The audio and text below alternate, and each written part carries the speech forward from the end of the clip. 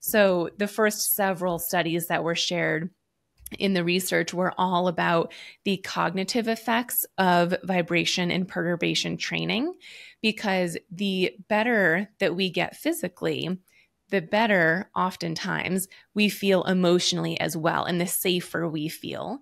And that feeling of confidence is vital in improving our walking and reducing our falls for the long haul.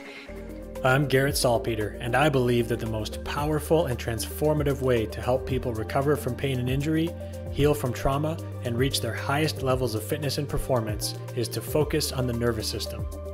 In this podcast, we'll share knowledge from the frontiers of neuroscience and inspirational stories of how applying that knowledge has empowered people from all walks of life to heal, adapt, and grow.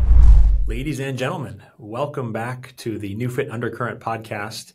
We are joined today for the second time by Dr. Gretchen Hawley, who you may know as the host of the MSing Link podcast and the writer and curator of the MSing Link website and program.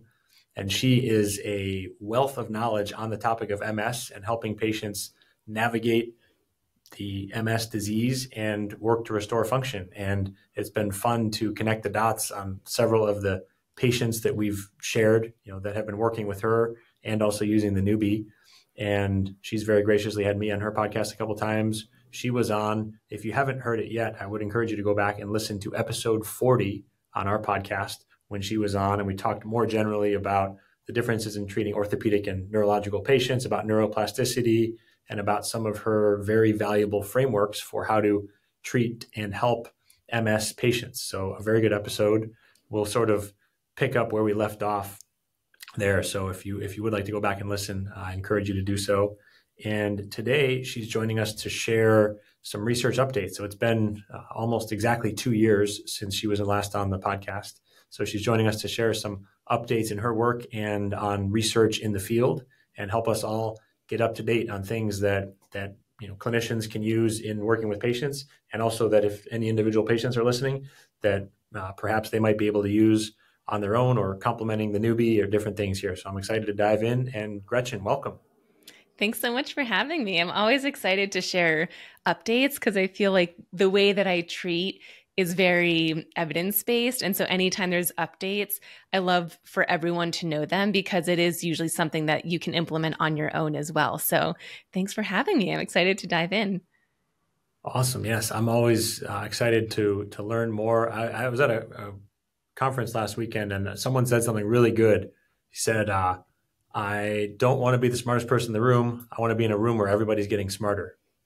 Ooh, I good, like that. Quote. So hopefully uh, the collective room that we're sitting in all, you know, doing this, this, having this conversation together, we're all going to be getting smarter here. So update wise, I know we talked a little bit, I haven't heard all of these details, so I'm even excited to, to follow along and listen to, but I know uh, one that you, that you you know intend to share is related to vibration. So uh, can you can you uh, dive in and start there? Absolutely. Yeah. One thing that a lot of my clients are working towards, and I think your clients might be as well, or at least those interested in Neubie and NeuFit, is reducing tripping and reducing falls. And that can be extremely powerful because it will not only mean that you're likely improving strength and balance, but it also improves your confidence and it affects you psychologically as well. And so at this conference, a big topic was reducing falls and improving that through vibration training and therapy. And it was really interesting because the very first few trainings were all about the effect that falls and vibration training actually have psychologically. And so they were showing tons of research on how improving your balance and reducing falls through vibration and perturbation training affects us psychologically. And I just thought that was really cool because so often we assume that training our muscles will improve us physically, but we so forget just to i'm sorry to i'm sorry to interrupt. I, That's I want to I want to keep that keep that train of thought. But if people are wondering here when you're talking about vibration are we talking about like like a vibration platform or, or a, you know when you say perturbations like one of these treadmills that I've seen in motor control labs that oscillate side to side and what what what it just just so everyone can kind of visualize what you're talking about as we go here can you just share a little bit about like what exactly that that means? Yeah so vibration therapy or vibration training can be done at home or in a clinic and typically it's done with you having your feet sitting or standing on a vibration plate and there's a few different options. They have ones that go back and forth or side to side or up and down, but you are you have your feet on a plate that vibrates. And again, you can be sitting or standing. Whereas perturbation training can either be as you just mentioned, you're on a treadmill or one of these motor machines that will make you fall off balance that require you to have a stepping strategy. So it purposely puts you in these safe positions to lose your balance and make sure you're training your body to recover when you lose your balance in real life situations. But that also can be done in person, as long as you can do this safely, you could have someone just tapping you from one side to the other. But the whole point of perturbation training is putting you in a position that makes you have a stepping response. So you'd have to step to help recover. Awesome. Thank you. Thank you for that. So now we're on the same page. So then then you were you were saying you're talking about some of the the you know the psychological effects of falling and things like that so we can get get back get back on that on that train there yeah, yeah. So the research was showing that about 70% of people with MS will have falls. And and one thing I also should clarify is falls are not always heavy falls to the ground that end in injury. Sometimes that's what we think of when we think of a fall, but a fall is any time you ended up on the ground unintentionally even if it was controlled. And so many people don't consider that a fall. And if we don't consider that a fall, then we're missing out on a whole area of training that could really improve safety and balance when moving. So, the first several studies that were shared in the research were all about the cognitive effects of vibration and perturbation training because the better that we get physically, the better oftentimes we feel emotionally as well, and the safer we feel.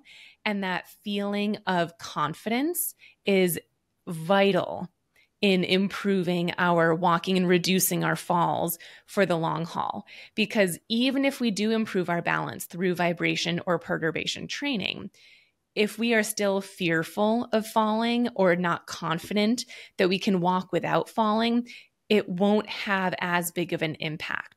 So there was just a big focus on focusing on the psychological and the physical components and how they relate. Awesome. I think that's that's great information. And the are there any any of your you know, you have this the MSing Link program. So I mentioned that the the intro I didn't say it's MS ing, so it's you know play on a, a, wonderful, clever bit of wordplay, which I very much appreciate. Puns are my favorite form of humor. So uh, just so if, if, people you know haven't seen the website or something, it's missing msing link.com, right? Is the website. Yep. Um, so so you now through that website, you're working with people even more remotely than in person. I know obviously you are a physical therapist, have worked with people in person, but working remotely. So are you recommending certain uh, vibration products to people, or can you talk a little bit about what what you might what uh, specific recommendations there might be in that category? Yeah, absolutely. So we mentioned both vibration and perturbation training. However, because I mostly work with clients virtually now, I do every now and then work with some clients in person. So if I'm working in person, that might be a little bit different because we could do perturbation training safely but I would never recommend that someone at home that I'm not able to witness and make sure they're staying safe, that they have their spouse just pushing them in one direction or another to force them to take a step. That's probably not going to be the safest. So, in the MSing Link and with all of my virtual clients, what we tend to focus on is more of the vibration training. And one thing that was shared that I thought was really interesting was that the best version. They didn't give any specific brands of what product would be best, but what you really want to be looking for is a vibration plate that goes up and down versus side to side or rotation or forward backwards. They mentioned that those can be helpful, but the ones in research that specifically showed a benefit that was statistically significant in reducing falls were the vibration plates that went up and down. And the reason for that was because they were going up and down against gravity, whereas all of the other positions and vibrations didn't affect gravity. They were all on the same plane. So typically now in the MSing Link, when someone asks, you know, what what brand should I get? I don't give a specific brand, but I do say look for the ones that go up and down and some some vibration plates offer lots of different types of vibration it's not just one or the other but you'd want to for sure be working with one on the setting where it goes up and down instead of side to side or rotation Okay. So that's good that you mentioned up and down too, because also before we move on from this topic, I wanted to to spend a moment talking about the mechanism here. This is something that I've I've looked at a little bit off and on during the years. Not using vibration on a regular basis. I, I certainly wouldn't call myself an expert, but um, you know, I think we can at least talk about it for for a little bit here. So so if someone's standing on a platform, the surface is actually moving up and down. So it's sort of like they're doing mini jumps and landing or landings. It's like they're landing from you know a, a, half an inch, half an inch, half an inch, and they could do it you know 10, 40 or something times a you know a second depending on the frequency of vibration. And so I've heard that described a few ways. One being that it creates these vibrations that help pump lymph because you get the mechanical pumping. I've heard it described as you know creating since you're since you're getting these miniature essentially landings as if you were falling off a, a half inch surface or whatever the ampl- amplitude is. You know each those, all those times per second, you're getting a little bit of vertical axial loading. So there could I've heard I've heard of you know people talk about bone density benefits. We've got lymph bone density, but ultimately, especially given our your area of interest and mine being the nervous system, we want to talk about how it causes the reflexive neurological activation. So like you talk about perturbations in the stepping response, is the is the mechanism of action and is the benefit essentially that it's causing the nervous system to have to react all those all those times per second to the to the change in force and get that reflexive firing happening faster? Yeah and not only that, but it makes your muscles activate too. So it might not feel like it in the moment when you're using it, but just the fact that it's going up and down, it's making your neural pathways activate and it's making specific muscles activate. And those specific ones that are responsible for reducing that risk of falls. So things like the muscles on the front of your ankle, the tibialis anterior, the muscles on the back of your ankle, which would be the calf muscles, the outside, which are the peroneal. So it activates a lot of different muscles with the goal of strengthening them to reduce falls. And of course, your neural pathways have to be activated first. So, vibration training is a way to get both done.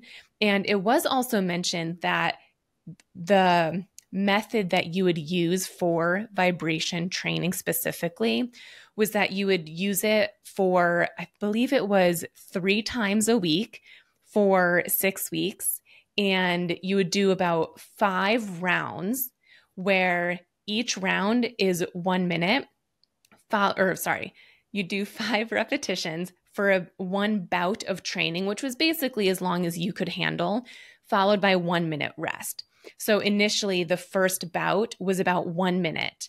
And then the next week, or maybe three or four weeks later, it was still about one minute. And then once you were closer towards the end of the six weeks, you might re- increase it to about a minute and a half. So it's really slow increments. It's not like the first time you do it, you'll use it for 20 minutes. it would be one minute for several weeks, and then maybe a minute and a half for several more weeks, and then maybe two minutes. And so you slowly work your way up. And after each bout, you have at least one full minute of rest before going at it again. Okay. So that that all makes sense. Uh, one also one thing that's worth mentioning is, you know, of course, in our all these different mechanoreceptors that we have, these sensory afferent pathways, there are pathway, you know, there's force, you know, you mentioned the muscles are working. There's also pathways for vibration and uh, getting more sensory feedback, you know, as we've seen by using the Neubie and many other conversations we've had on here, you know, can be helpful. And I do know a few clinics around the country that have combined have had the Neubie on while people are standing on a vibrating vibration platform, uh, or being on the vibration platform and doing squats or lunges or, or different movements or push-ups with their hands on the platform, different things like that too. So I think there's you know a way where things can can combine. Um, the um, let's see audio issue here. Uh, sorry, we had a slight um, issue with the connection freezing there. So uh, we're just chatting about the vibration and ways that people have combined this. At least a few clinics have combined vibration with the Neubie. I don't have a lot of personal experience with it, but it, it sounds promising. So I'm glad that we were able to talk about that. And thank you, Gretchen, for sharing that. And then, you know, in terms of these research updates, um, I believe the next one you want to talk about was um, a few findings related to spasticity. Is that right? Yes. Yeah, spasticity, which is basically an intense form of muscle tightness that doesn't often release with just stretching alone is a big symptom in multiple sclerosis, as well as some other neurological conditions. And it can be super frustrating because the higher the level of spasticity, the harder it is to move. So if you've ever been walking and you feel like you can't bend your knee, not because it's weak, but because it feels restricted, that's likely spasticity. Or sometimes it feels like heaviness. So if you've ever felt or said, when I walk, it feels like I have a 50 pound weight attached to my right leg or my left leg, that heaviness that can also be spasticity. And for a while, what researchers were showing were best practices to reduce spasticity and other forms of muscle tightness as well was stretching or other forms of muscle release. So that might mean stretching as you and I know it, where it's 20 to 30 seconds, or more prolonged stretching, where it's maybe three to five minutes. Or it could be muscle rolling with a foam roller or a tennis ball, massage, you know, different muscle release techniques like those. But the focus at this conference and the research updates that I got was that stretching is still important. And they did actually recommend that stretching should be done at least two to three times per day. And I always like to go on the conservative side. So, what I've been recommending is the three times per day for sure, and 20 to 60 second holds. So, again, I've been recommending more of the 45 to 60 seconds, but research was showing the 20 to 60 seconds which is interesting because a few years ago, they were showing that prolonged stretching, like the three to five minutes, might be better. So, this is kind of a, a little switch in what type of stretching is best for spasticity. But not only that, there was a heavy focus on talking about strength training to reduce spasticity and aerobic training to reduce spasticity. So, with the strength training, we wouldn't want to strengthen the muscles that are spastic. We'd want to strengthen the opposing muscles. So if you had spasticity and tightness in your hamstrings, which for those that need a reminder are the muscles on the back of your thigh, we would want to strengthen the quad muscles, which are the muscles on the front of your thigh. Or if you had spasticity in your calf, we'd want to strengthen the muscles on the front of the lower leg, or vice versa. And so determining exactly where the spasticity is and still focusing on stretching that area, but strengthening the opposite side can be mutually beneficial. And I think the Neubie is great for that. I, I have a decent amount of clients that I work with who are using the Neubie and they're using it in that way, whether they realize it or not. As I'm talking to them, we realize where their spasticity is and then they tell me what exercises they're doing with a Neubie and we realize oh that's perfect because your spasticity is in the opposing muscle. So when we're looking for strength training that's really what we're trying to pinpoint on.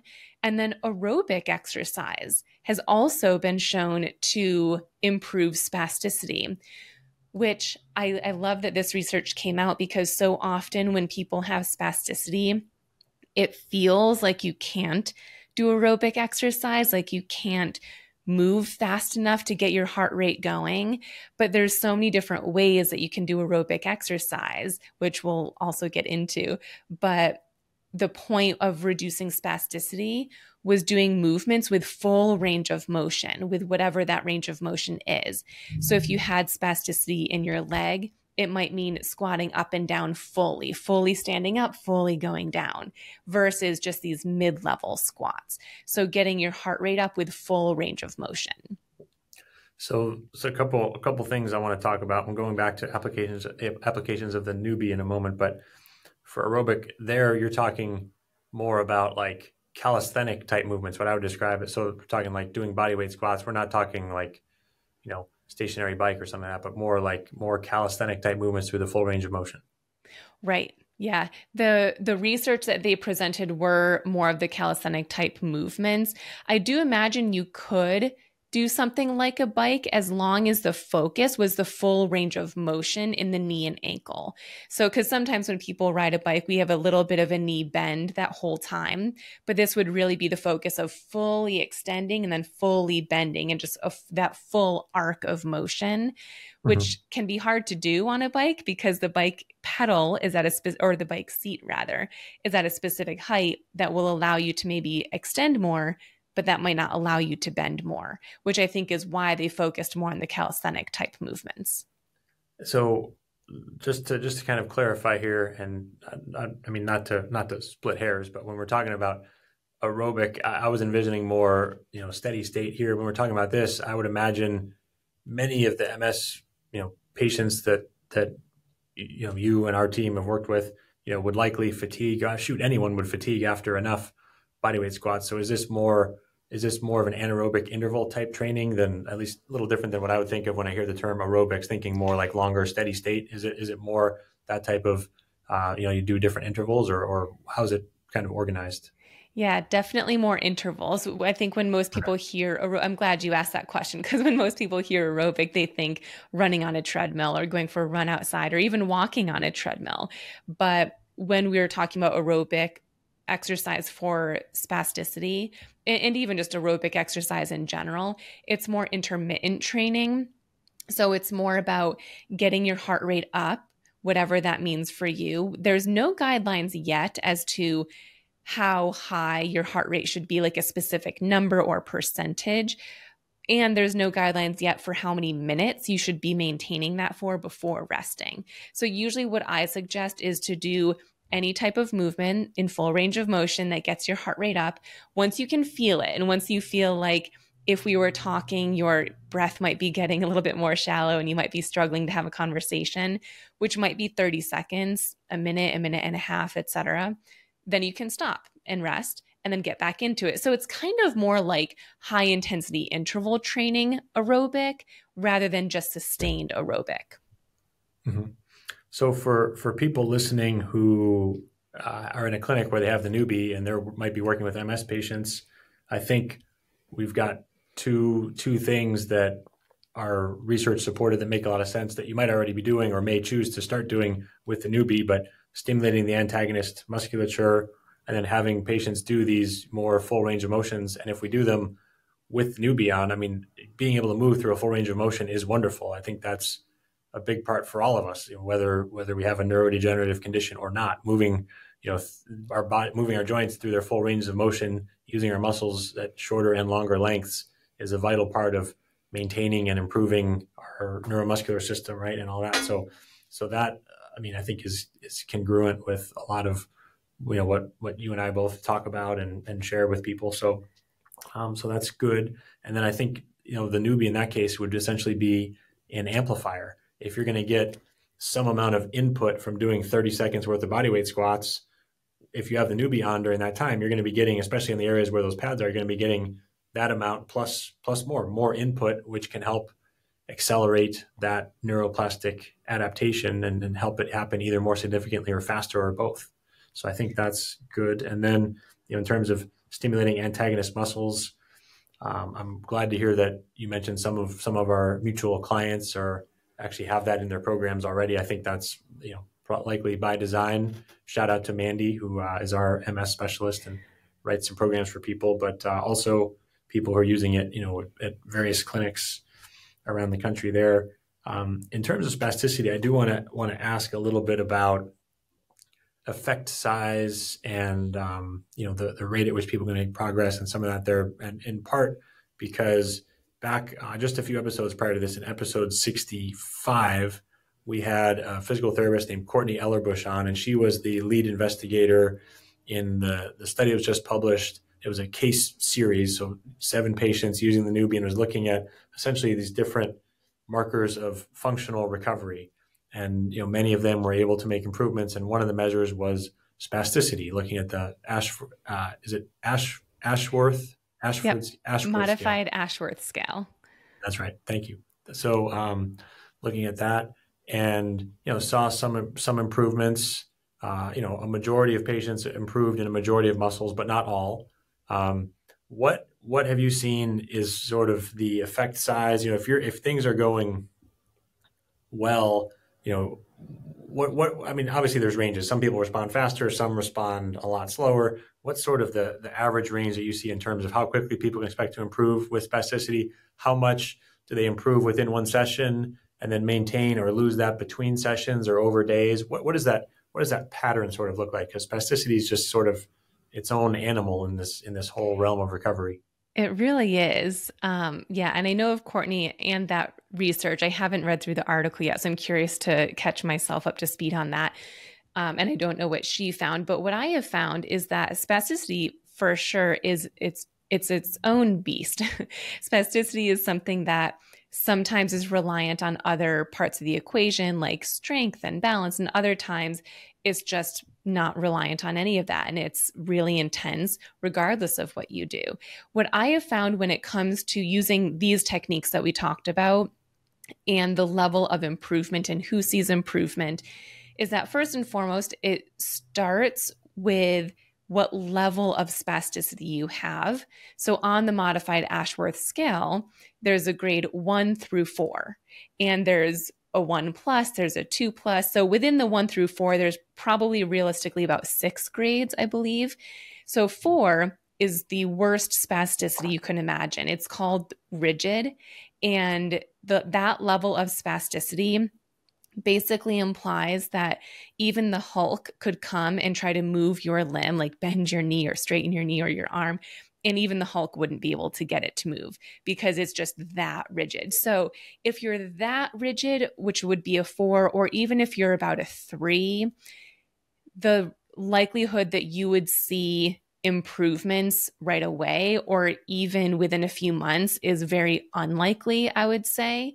It might take you a year of staying consistent with these exercises and this the combo, the stretching, the strengthening, the aerobic.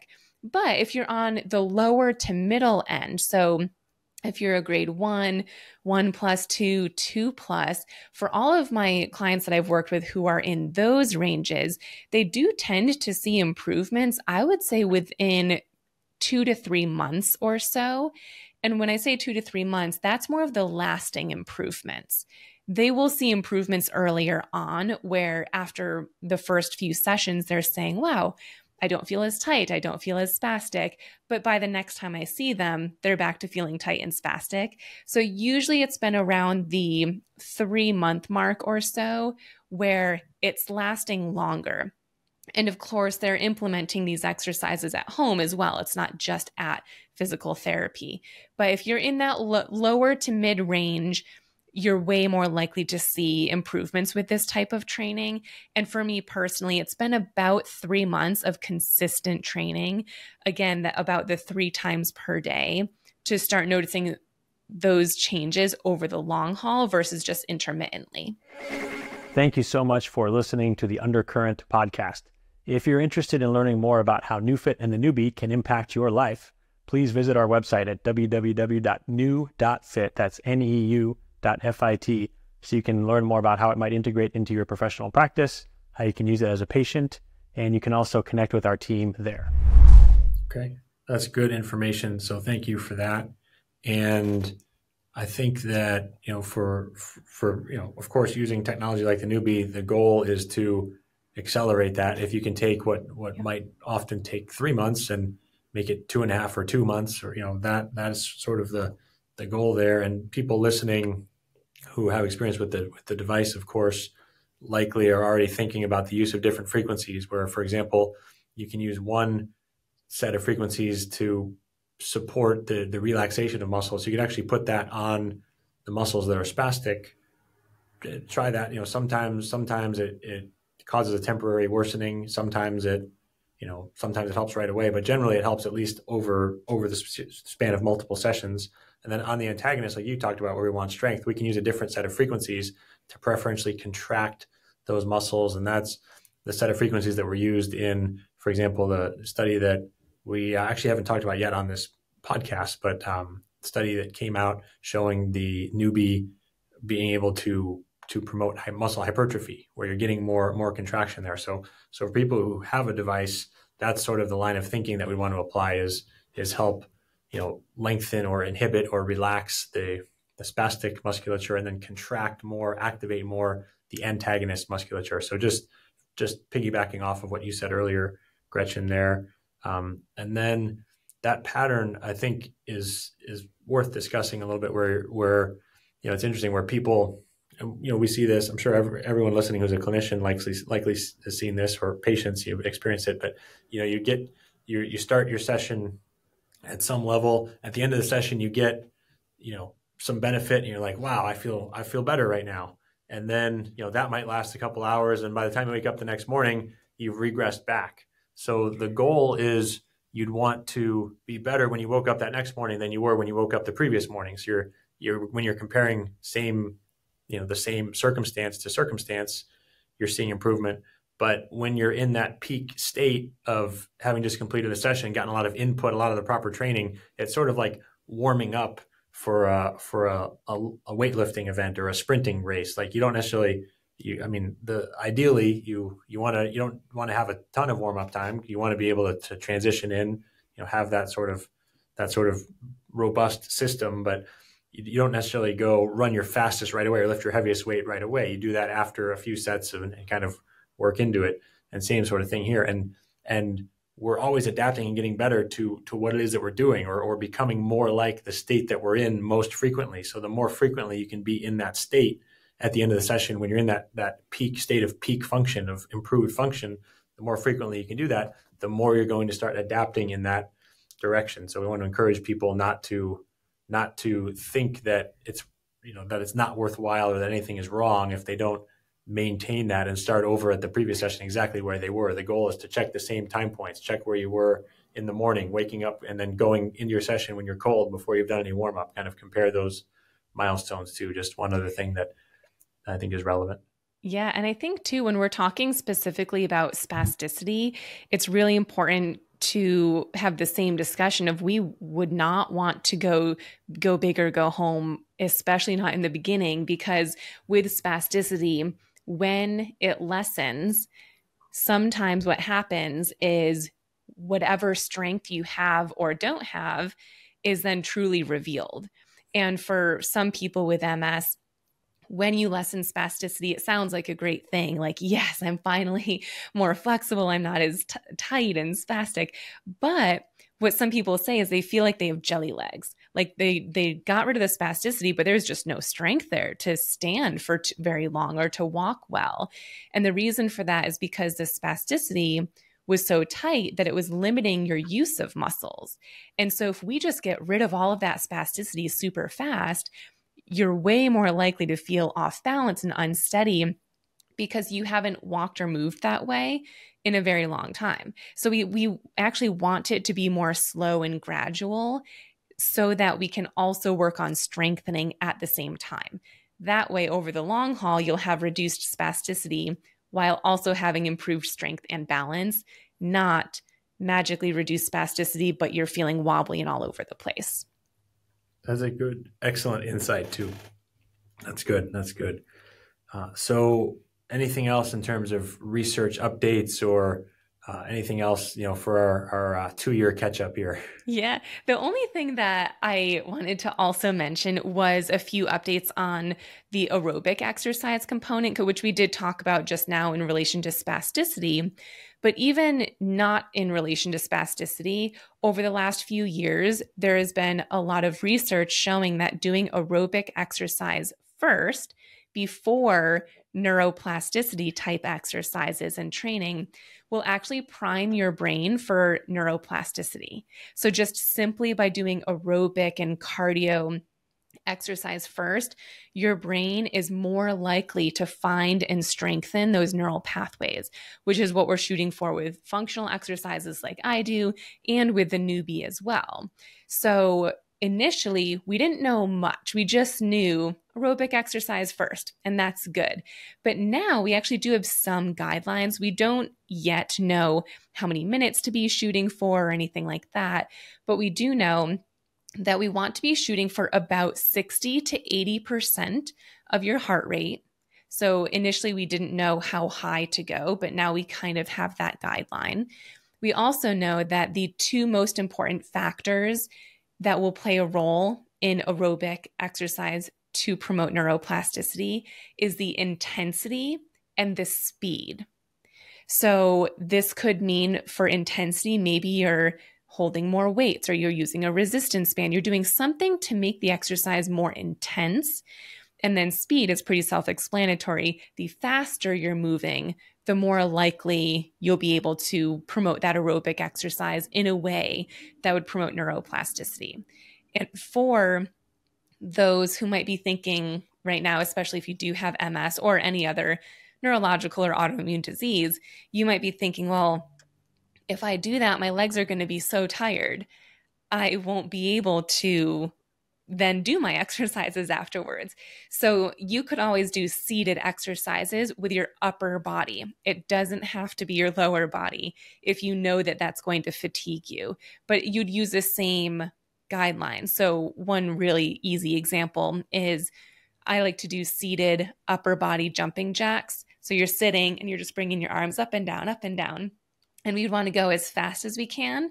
And we'd want to make it a little bit more intense, potentially by adding weights or resistance band. So it doesn't always have to be with the legs. I just wanted to throw that out there too. But I'm really excited that we now have. excuse me, I'm excited that we now have those guidelines because for about two or three years, there were no guidelines. We just knew that it was helpful. So I thought that was exciting. That's great. And I can't help but make the connection there between some of these concepts. Um, I actually was just on a, a live event, you know, a couple months before we're recording this here with with our mutual friend Dr. Wahls, and gave a talk on some of the benefits of exercising the body on the brain. And a lot of the inspiration for this talk came from the book uh, called Spark by Dr. John Ratey. I don't know if he's R A T E Y. I don't know if it's Rat Ratty or Ratey, how he pronounces his name. Even I've just seen it on the book, but um, he he talks a lot about how exercise creates BDNF, brain derived neurotrophic factor. It creates these these compounds that actually act like Miracle-Gro fertilizer for the brain and nervous system and help grow new whether you can grow new neurons in certain areas or at least new connections between them, um, and also uh, different growth factors for growing the, the scaffolding like glial cells around new neurons and also uh, i think it's vegf vascular endothelial growth factor that helps grow new new blood vessels microvasculature so you can bring blood and energy to these. So so all of these growth factors are created and secreted by the body in response to exercise. And so that sets the stage. It's like literally like putting fertilizer on nerves so they can grow faster. And he told a really cool story um, you know, of course, in that talk, we're talking about how it's relevant for MS, just just like you're sharing here. But he also told a story that I, I was reminded of it when you were talking about doing this before, uh, you know, a, a, rehabilitation session or before you know a functional training session. He talked about how there was a a um, uh, group of students that, that were studied studied going from eighth grade into ninth grade. So they're entering entering high school, and these students were behind in reading and they all were having a special literacy class the first school period of the day and some you know maybe half the kids but i don't know what the exact percentage was a group of the kids went for what they called a zero period and they did basically gym class and they were running and doing aerobic activity beforehand and then half the group didn't.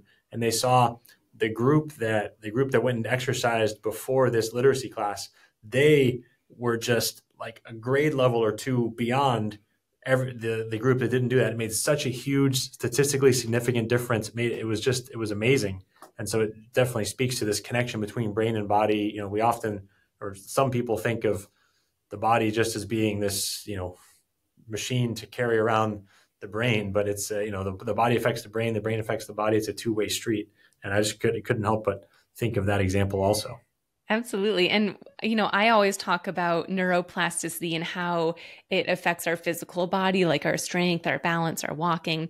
But neuroplasticity affects everything. It affects the way that we think, it affects our habits that we have. It's way more than just our muscles. So, yeah, that's a, a beautiful example of other ways that priming your brain in that way can help your neural pathways, even just for learning. That's awesome. Yes, absolutely. So, uh, before before listening to this podcast, hopefully everyone was doing some exercise. Yeah. able, able to take in the information. Uh, so let's see. So we've talked about um, vibration and perturbation training, spasticity, uh, and then now aerobic training and using that as you know essentially a warm up to help open the neuroplasticity window. Uh, any other any other topics or anything else that uh, that you'd like to share while we're doing our updates? I think those are the ones that are probably the most relevant. There there were other big topics including sleep and that was a really interesting one because a lot of the clients that I work with have sleep symptoms, I'll call it that. And sometimes it's related to MS, but other times it's not. And what was pointed out during the trainings was that so often when you have MS or another condition, any symptom that you have is blamed on that when in reality it might have nothing to do with that. And so you might have sleep symptoms because your bladder maybe isn't working as it should. And so you have to get up frequently throughout the night to pee. And so that would be more of approaching improving your sleep by going to a urologist or a pelvic floor physical therapist. But they were pointing out how common it is for sleep disturbances in MS and other conditions to actually be from sleep apnea or insomnia or restless leg syndrome, which are actual diagnoses that are treated in other ways, dissimilar to how MS is treated. So, I just thought that was a really unique approach in really just reminding us like any symptom that you have might be related to the condition that you have, but it also might not be. And so it's really important to work with someone who knows that and is open to seeing all sides because in order to get treated in the best way you have to understand the cause of it. So um, they approached that uh, with sleep as well as a few other conditions but i just thought that was a, a refreshing take on all these things that can be symptoms of ms oh yeah that's a great a great insight for for patients who do have ms I mean, sleep is so important to stop the progression of the disease to, and then, you know, to help if you want to have any sort of chance to restore function, that, that adaptation happens during sleep. So it's vitally important. And to know that, you know, reduced sleep quality is not just because of MS, but could be from these other comorbid- comorbidities or other things. I think that's uh, really useful information and a great perspective for, for people to take from this. So thank you. Yeah. And, you know, we could even apply that to the other things we talked about here. You know, when it comes to spasticity, when is your spasticity worse? Is it related to poor sleep? In which case, if we improve your sleep, we also might be improving your spasticity. Or is it related to fatigue or heat or cold intolerance? So, if you do know of a trigger that makes one of your symptoms worse, or even falls, and we were talking about vibration training, have you noticed any triggers of when your falls or tripping might be worse? Is it related to sleep or fatigue or heat intolerance or sensation changes or anything? Because ultimately, we want to be focused on the cause and these specific types of trainings that we talked about today. But if there's anything associated with it, we also need to be focused on that. Amen. I also am reminded of just two episodes ago, we had Amy Myers on, who's a, a very well known functional medicine physician, and she was talking about functional medicine being you know trying to get to the root cause. Of course, that's what we're doing, and you know trying to do in the realms of physical therapy, rehabilitation. Um, so I, I, I love that you said that. It's a good reminder of that's that's got to be our kind of our north star. Really trying to figure out yeah. the root cause and work at that level. Because if you can get that first domino, then other things are you know get better, become irrelevant. You know, whatever it might be. Um, but that's a great way to look at it. So an excellent excellent note on which to uh, to wind down here. Gretchen, can you uh, remind everybody, please? the best best places to follow you. We already mentioned the MSing Link website, but talk about your social channels and other other platforms as well, please. Yeah, so on my website is where you can find all my services and also where to find me in other places. But I'm on Instagram as dr.gretchen. I also have a YouTube channel for anyone who likes to watch longer form videos for exercises or symptom management, walking, you name it. And my handle over there is my full name. It's Dr. Gretchen Hawley. I do have my podcast called The MSing Link. And as of recent, this past July, a book called The MSing Link as well. So searching for The MSing Link with that spelling of M S I N G link, you'll find me in some way, shape, or form. That's right. I know uh, we did a, a, shout out on social for your book when it came out. I got, I was very fortunate. Thank you for got to read an advanced copy, and I really enjoyed it. I think it's wonderful. So, best place to get that is your website or Amazon, or what are the best places to point people to for that? Yeah, on my website right now, I basically just direct people to Amazon. It's available in as many countries as Amazon would allow me to have it available in, which I think is 13 countries. So, as whatever country you're in, you can go to Amazon and search for the MSing Link, or you can just search for my name and it should pop right up for you. And it will be an audiobook coming in mid January or so. So, I'll keep you posted with the link for that once it's available. Nice. That's a cool experience. You were in the in the studio recording all of that, right? I was, yes. That uh, we just just released ours too. And so on Instagram, it's just it's it's all spelled out. It's not dr dot Gretchen. It's d o c t o r doctor dot Gretchen also. Yes. Just to make sure you're following the right one. Uh, so on that note, thank you so much for coming back on the show, and you know even more importantly for the wonderful work that you're doing, the great information you're putting out there, the way that you're helping people that you're working with directly, and and the others that you perhaps never directly interact with, but benefit from from your great information. And it's you know it's an honor to be able to collaborate with you, and I appreciate you. Thank you, Gretchen. Of course, thank you for having me. And thank you everybody for listening to this episode of the NeuFit Undercurrent podcast.